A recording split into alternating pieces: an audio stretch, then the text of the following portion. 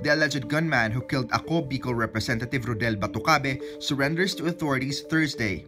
Criminal Investigation and Detection Group Director Amador Corpus says Henry Yuson turned himself in to the Army unit of Sorsogon and was handed over to the police.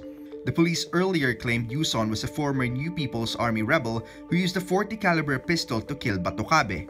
The other gunman has been identified by police as Rolando Arimado, who remains at large. Batocabe suffered 8 gunshot wounds, accounting for 4 entry and 4 exit bullet wounds.